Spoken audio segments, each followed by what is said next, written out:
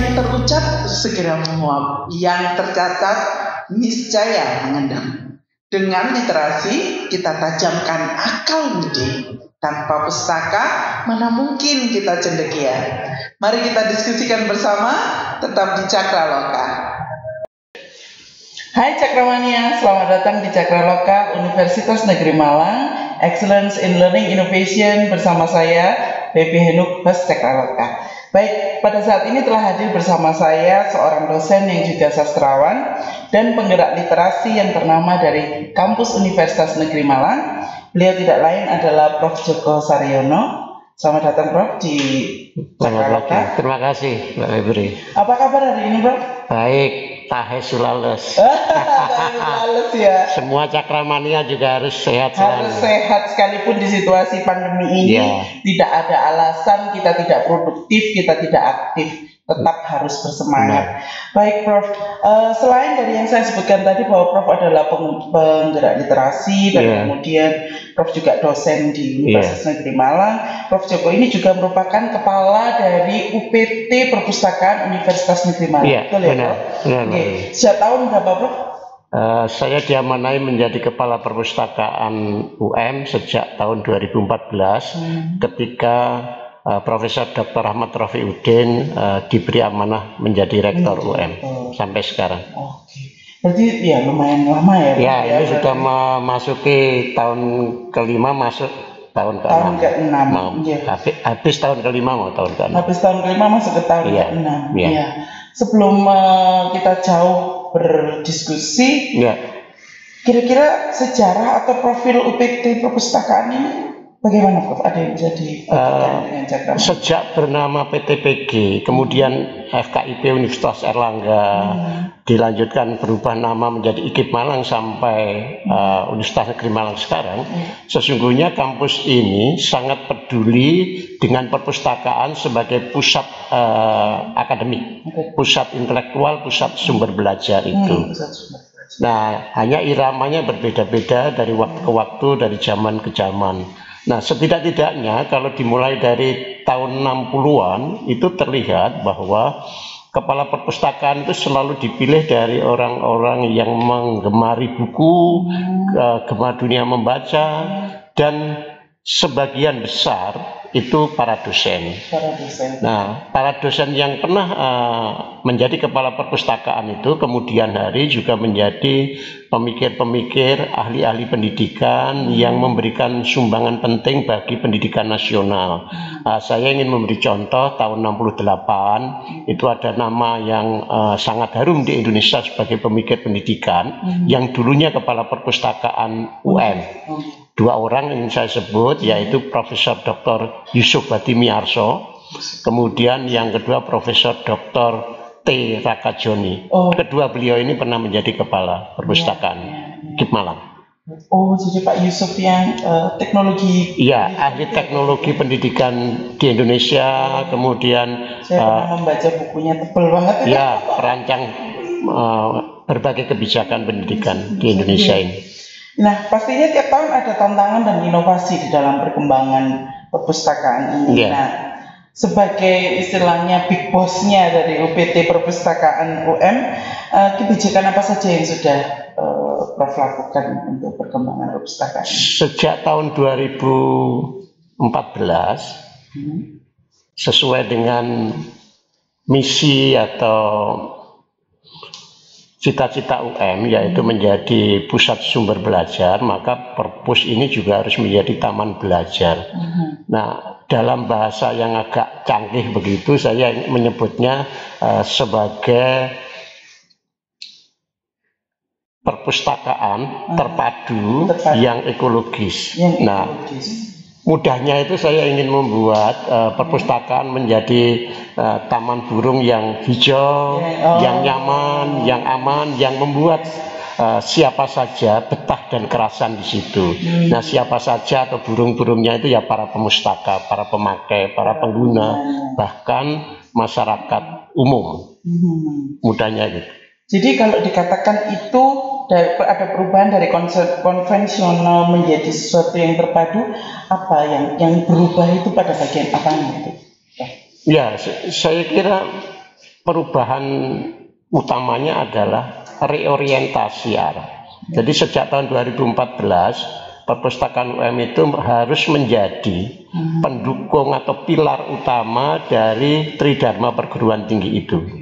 Nah, oleh karena itu uh, perpustakaan UM harus menjadi uh, infrastruktur bagi penelitian, bagi hmm, pendidikan, bagi pengabdian masyarakat yang dilakukan. Di situlah maka perpustakaan ini harus menjadi uh, ruang inovasi, ruang kreativitas. Itulah yang uh, biasanya disebut maker space itu. Hmm. Jadi perpustakaan bergeser dari sebuah gedung menjadi sebuah ruang.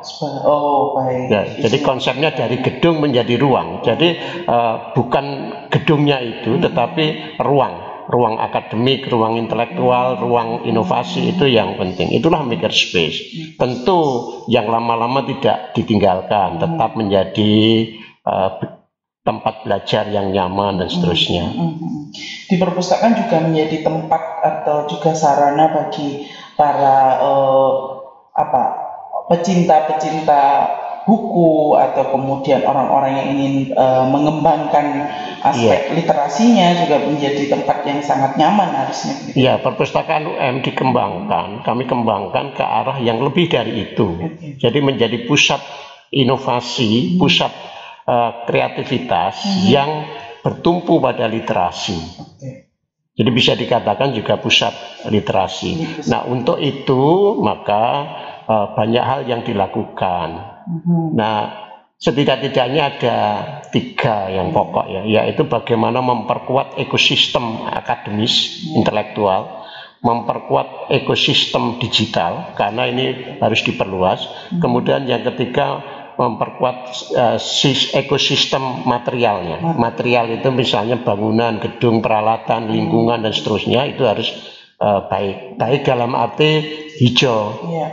Uh, baik dalam arti nyaman dipakai, hmm. baik dalam arti uh, membuat orang kerasan. Yeah. Nah, karena itu secara keseluruhan kami atau saya menyebutnya dalam bahasa asing ecological uh, base uh, library. Jadi ya blended library, blended ecological blended library. Hmm. Jadi ya perpustakaan yang terpadu yang uh, berwawasan uh, ekologis. Nah oleh karena itulah uh, bukan hanya lingkungannya yang tetap kami pertahankan hijau, uh, yang membuat burung-burung, binatang-binatang, hewan di situ.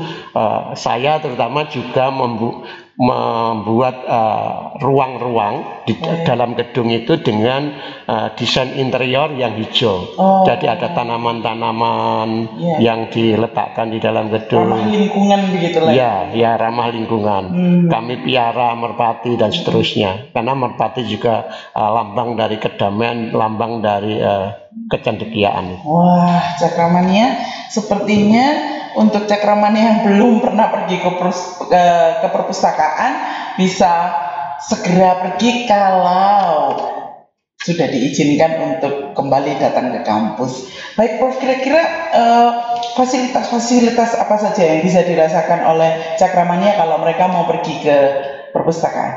Uh, perpustakaan UM adalah perpustakaan terbuka. Hmm pemustakanya tidak harus sivitas akademika warga UM. Ya. UM ini milik negara, milik bangsa. Perpustakaan ini juga milik bangsa, milik negara.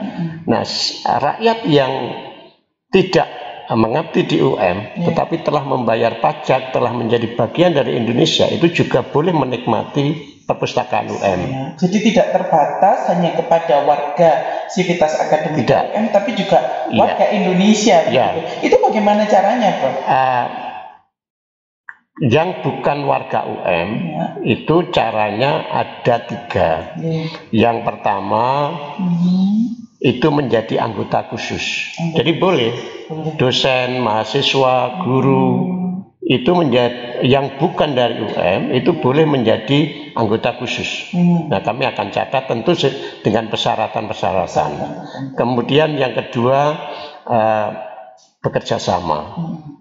Dan ketiga kami mencoba membuat uh, wisata perpustakaan. Oh. Nah, ya itu uh, sebuah menikmati. Hmm. Jadi seperti library tour gitu. Hmm. hmm, hmm. Ya, yang dinikmati ya itu. Perpustakaan tempat yang membosankan sudah nggak ada lagi begitu. Ya? ya, karena itu gedung perpustakaan, bangunan perpustakaan itu tidak hanya berisi buku rak-rak. Oh ya. Tetapi juga tempat uh, bersantai, tempat berinteraksi, bahkan juga tempat melihat-lihat uh, sesuatu. Ada fungsi setengah museum. Nah, oleh karena itu barang-barang lama, uh-huh. uh, teknologi perpustakaan sejak lama sampai kini itu saya pajang. Betul. Ketika masih pakai lidah buku, ketika masih uh, dengan mencari manual itu uh-huh. kami pajang, uh, mesin ketik kami pajang, uh-huh. dan alat-alat yang lama itu bagian dari pustaka karena di baliknya ada pengetahuan. Tapi sekaligus itu juga fungsi museum yang bisa memantik inspirasi yeah. kreativitas dari para pemustaka atau siapa pun yang datang itu. Oke. Okay. Uh, eh, terkait di situasi pandemi COVID-19 ini, yeah. Prof, di yeah, yeah. era new normal ini tuh, yeah. kan uh, warga Civitas Akademika belum boleh mengakses terlalu banyak berada di kampus begitu, atau bisa jadi uh, mahasiswa dilarang untuk datang ke kampus begitu yeah. untuk beberapa prasyarat khusus. Nah, bagaimana mereka? Apakah mereka masih bisa mengakses perpustakaan begitu? Iya. Jadi ada pandemi atau tidak, hmm. sejak tahun 2014 hmm. ada tiga program utama dari perpustakaan UM, hmm. yaitu penguatan infrastruktur digital, kemudian infrastruktur manajerial dan infrastruktur fisikal, termasuk di mana material. Hmm. Nah, ketika pandemi terjadi, kami sudah melakukan uh, digitalisasi yang uh, cukup uh, apa cukup kuat gitu. Di antaranya misalnya uh, sudah otomatisasi layanan. Okay. Dulu ketika saya masuk itu masih presensi dijaga, harus ini semuanya sekarang tidak begitu bebas. Kalau terlambat mengembalikan buku tetap harus pergi. Iya itu soal gitu, gitu. soal ringan-ringan. Gitu. Ya, ya. ya jadi kami sudah melakukan otomasi yang uh, banyak. Kami sudah kembangkan hampir 28-30 aplikasi yang membuat digitalisasi itu bisa berlangsung dengan uh, masif begitu dengan kuat. Nah ketika pandemi terjadi sehingga uh, kami sudah siap, mm -hmm. sudah siap ketika uh, terjadi karantina wilayah secara total. Mm-hmm. Nah, tetap uh, para pemustaka bisa memanfaatkan perpustakaan. Mm-hmm. Bukan hanya memanfaatkan koleksi pustaka, tetapi juga mendapatkan layanan-layanan administratif yang uh, memang diperlukan sebagai bagian dari konsekuensi uh, sebagai sivitas akademika. Yang pertama misalnya sebenarnya sudah sejak tahun 2000 13 14 ya. itu oh, setiap tahun perpustakaan UM itu langganan jurnal-jurnal digital yang sangat banyak yang bisa diakses di mana pun.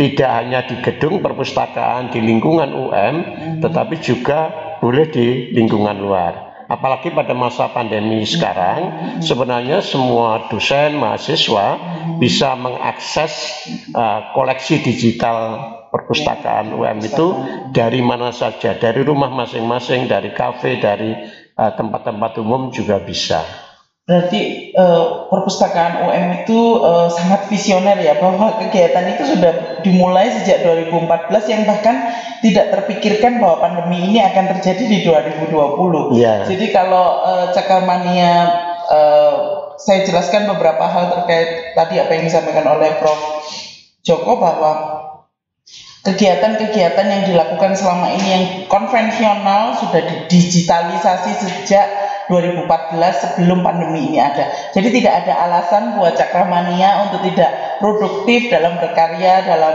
uh, melakukan seluruh aktivitas yang berbau literasi melalui perpustakaan Universitas Negeri Malang. Gitu ya, Prof ya. Ya, ya saya ingin tambahkan yang ya. lebih penting itu sebenarnya layanan-layanan administratif hmm. itu sudah digit, digital semua. Hmm. Sehingga misalnya untuk penjejakan itu hmm mahasiswa tidak harus datang. Tidak harus datang. Ya.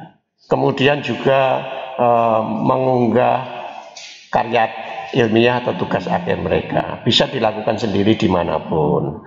Bahkan uh, melihat apakah memiliki tanggungan dan sebagainya, kapan kalau punya pinjaman itu yeah. akan habis, itu semuanya sudah ada di akun masing-masing. Yeah. Itu uh, sebenarnya sudah berjalan. Tapi memang dalam prakteknya uh, ada saja yang hadir karena mungkin uh, sebagai manusia kita juga butuh tempat uh, nongkrong. Gitu. Nah, perpustakaan UM lingkungan perpustakaan UM ini juga tempat nongkrong yang aman, nyaman dan uh, membuat orang kerasan itu yeah. soalan. Untuk Cakramania yang baru, mahasiswa baru 2020, pastikan nanti ketika Anda sudah diizinkan masuk ke Universitas Negeri Malang, kunjungi perpustakaan. Tempatnya asri banget, banyak pohon-pohonnya, enak jadi jangan lupa buat Cakramania yang 2020 datang kunjungi perpustakaan UM. Baik Prof yang terakhir bagaimana pengembangan untuk optimalisasi pelayanan UPT perpustakaan UM ke depan? Ya, ketika pandemi sekarang terjadi, ya. Ditambah sebenarnya bukan hanya soal pandemi ya. Hmm. Nah, kami saya mencoba me memetakan kita itu sekarang dihadapkan pada lima disrupsi, lima guncangan besar, yaitu guncangan revolusi digital, guncangan revolusi ilmiah, lalu sekarang ditambah guncangan pandemi, pandemi penyakit. Iya. Nah, oleh karena itu ke depan uh, program prioritasnya ada dua yaitu percepatan digitalisasi perpustakaan, tetapi ini tidak menggantikan perpustakaan konvensional. Uh, kami menyebutnya sebagai perluasan uh, perpustakaan. Jadi kami akan melakukan percepatan digitalisasi, bukan hanya akan memperkuat perpustakaan digitalnya, tetapi juga menganeka-ragamkan koleksi-koleksi digitalnya, memperbanyak koleksi-koleksi digitalnya, dan juga memperluas jangkauan aksesabilitas perpustakaan. Itu yang pokok. Hmm. Yang kemudian ya tentu penguatan manajemen yang berdasarkan uh, jaringan. Jadi waktu ketika sebenarnya menyerahkan berbagai berkas yang diperlukan itu tidak harus datang ke perpustakaan. Begitu juga kalau mahasiswa dosen itu uh, melak melakukan perkuliahan juga bisa langsung mengakses di mana pun. Uh, saya punya cita-cita justru hmm. uh, perpustakaan itu hadir di kelas. Perpustakaan itu di, hadir di kelas virtual atau uh, di dalam perkuliahan-perkuliahan itu. Jadi perpustakaan yang datang. Jadi ya anggaplah ini sebuah pustaka bergerak gitu. Hmm. Jadi bukannya orang yang bergerak tapi perpustakaannya yang Kalau bergerak. Kalau dulu secara konvensional ada perpustakaan keliling, ini perpustakaan keliling secara digital. Iya, ya sudah otomatis. Ya. Tapi sih uh, digitalisasi itu juga berlangsung di uh, lingkungan perpus. Hmm. Jadi sekarang untuk uh, bisa menjadi keluarga perpustakaan itu tidak harus melak uh, apa ya memenuhi syarat-syarat administratif. Hmm. Jadi secara otomatis misalnya kalau itu dosen mahasiswa punya akun otomatis akan menjadi anggota perpus dan sudah bisa juga proses-proses uh, layanan lain mulai presensi dan sebagainya semuanya sudah digital tanpa uh, apa ya ada meja-meja yang harus jadi lebih cepat lebih ringkas. Nah khusus anggota-anggota apa ya anggota khusus yang dari luar memang harus harus datang untuk di untuk mendaftarkan. mendaftar dan mendapatkan kartu anggota. Hmm. tapi tidak lama tidak perlu membawa apa-apa, 15 menit selesai karena potret dan sebagainya ada di situ dan segera jadi, jadi bisa ditunggu.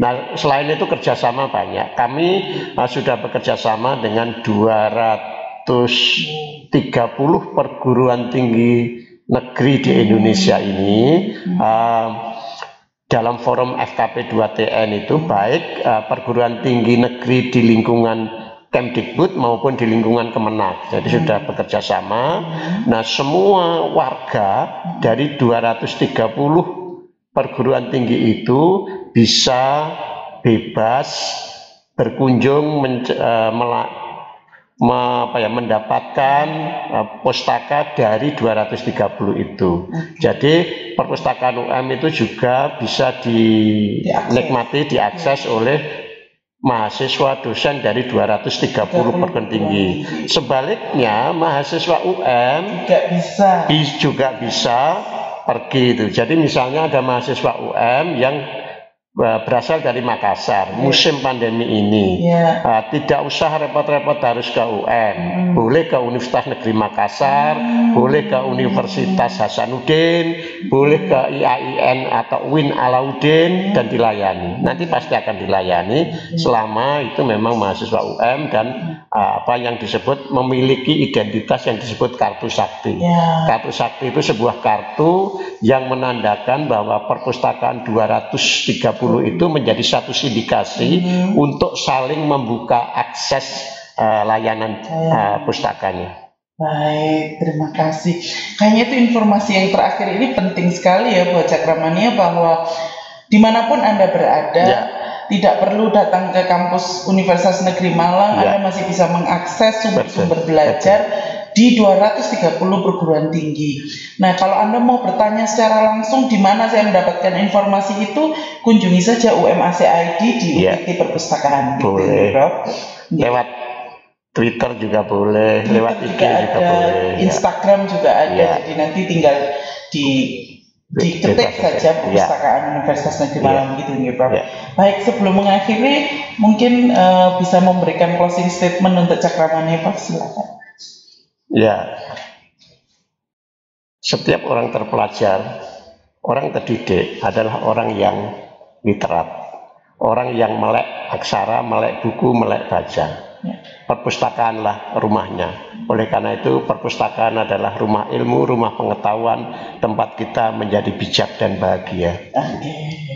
Terima kasih Prof atas kehadiran dan informasinya. Semoga apa yang disampaikan bermanfaat amin, untuk kita amin, amin. untuk cakramania juga yang ada di rumah.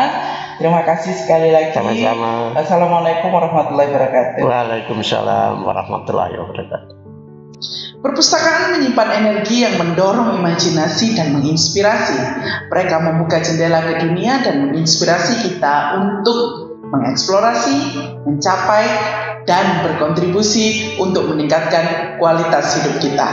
Inilah Cakralaka